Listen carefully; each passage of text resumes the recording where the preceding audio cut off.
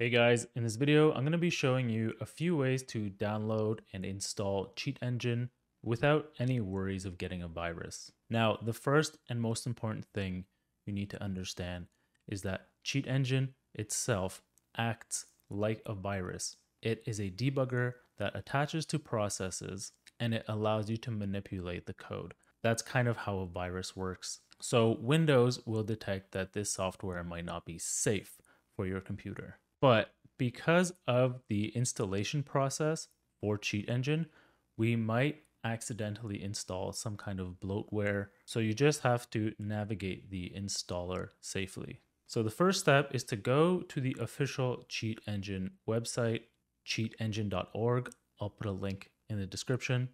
And we're going to click this big button that says download Cheat Engine. And we're going to download the Cheat Engine application. At this point, if you've tried to download this program and Windows automatically deletes it, so you have to do is go to your start menu, type in Windows Defender Firewall, and select the option to turn Windows Defender Firewall on or off. And we're just going to turn off Windows Defender and click OK. And the reason we're doing this is because Windows Defender Firewall will help prevent hackers and malicious software from gaining access to your PC. Um, so this just deletes the software automatically when we try to download it. This is just turning it off. So now when we download it, it's going to be where we put it without it getting deleted. And then we can run it and that will let us install it as well. After we've installed it, we'll go back to Windows Defender and we'll turn our firewall back on. So double click on the Cheat Engine installer, click yes, click yes, choose your language, and there we have the beginning of the Cheat Engine installer. Click next. And here's the part where people can accidentally download a virus. Right here is a promotional offer for McAfee Web Advisor. This is some software that's going to install itself on your computer, and you don't really know what it is or what it does. Uh, it just says it's your trusty companion to help keep you safe from threats online. So this is just gonna like hijack your web browser and start doing stuff to it. Like it might not be a virus, but it'll just feel really annoying and it will also probably be hard to remove. So um, what you can do is either click on decline, which is going to show you another offer, or you can click skip all. And there we didn't download any additional software by accident. And here we have the final page of the installation. Installation is complete. We can launch the application on exit just so we can see it works and click finish.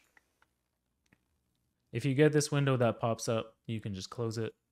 And now we have Cheat Engine installed. And now we go back into our Windows Defender firewall and pick turn Windows Defender firewall on or off.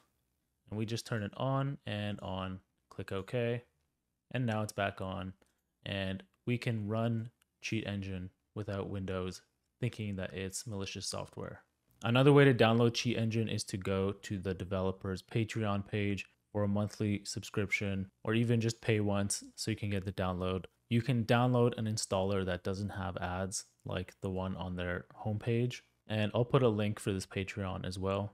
And finally, if you want the most secure and free way to download Cheat Engine, you can go to the Cheat Engine GitHub page and download the source and compile it on your system. To do this, you're going to have to follow some very strict instructions. And these instructions are laid out to you on the GitHub page, but I'm going to show you how to do it step by step in this video as well. So step one, download Lazarus 2.2.2. Here's the link. And we click Lazarus 2.2.2. And it says first install Lazarus 2.2.2 FPC 322 Win64. And then Lazarus 2.2.2 FPC 322 iCross 386. So there's two files we need to download. It tells us to download both of those. So first we're going to run this one. And for this setup, we're going to click next, next, next, next, next, install. It should take about two to three minutes to install. Click finish. And then we're going to run the other one. Click next and click install. And that one only takes about 20 seconds. Next, we're going to open the Lazarus app and click start IDE. Next, we're going to download the cheat engine source code and within these files, there's a project file that we need to open with Lazarus. So we'll just go to Cheat Engine 7.5, click on releases, scroll down to the bottom and select source code zip and save it. So this file is a RAR archive file, so we need to unarchive it. Most people will use WinRAR, and this just opens the archive so we can click and drag the actual files into our folder, and it's going to extract it. I'll put a link for WinRAR as well. It's just an application that lets you extract from these files. So now that we have the source code, we're going to go into Lazarus. We'll go to the top menu where it says project, and we're going to select open project.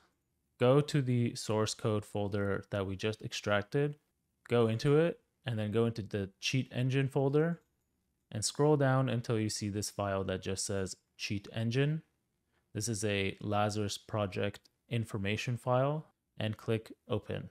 Next, in Lazarus, we're going to click Run, Compile Many Modes, and we're just going to deselect all of them but the top three. We can see in the instructions it says tip, select first three compile modes. So we're just going to do that. Here are the first three compile modes and click OK. Now we're going to get a bunch of stuff at the bottom of the screen. That is the project compiling and building the application. Once it's complete, you should get this green bar that says success, as well as a pop-up that says success. Selected three modes were successfully compiled and we click OK. Now it doesn't make it entirely clear where the file ends up.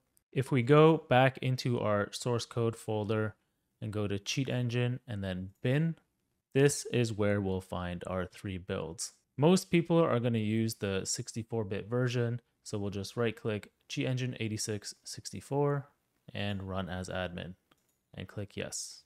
And now we have compiled Cheat Engine from source without using the installer that has ads on it and without having to pay for it on Patreon. And now we can start cheating in all our favorite games. If you're new to Cheat Engine, I recommend you check out my beginner's tutorial for how to get started with Cheat Engine. I'll put that in the description as well. And if you aren't all that new to Cheat Engine and you want to learn how to save cheat tables, which means finding pointers using scripts, I have a video for that as well. If this video helped you, please like the video and subscribe to support the channel. Thank you.